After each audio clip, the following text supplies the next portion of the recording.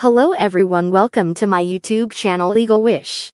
In this video I'm going to show you the project on ozone layer depletion. Let's start our project with the table of content index. After index make certificate and acknowledgement.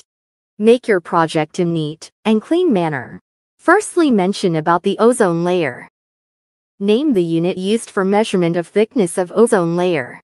If you know the answer write in the comment box. After that mention about the ozone layer depletion.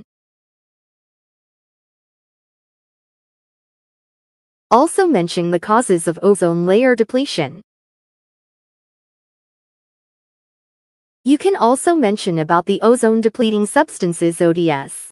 Do mention the effects of ozone layer depletion. Don't forget to mention the solution for the depletion of ozone layer. In the end of the project do write bibliography.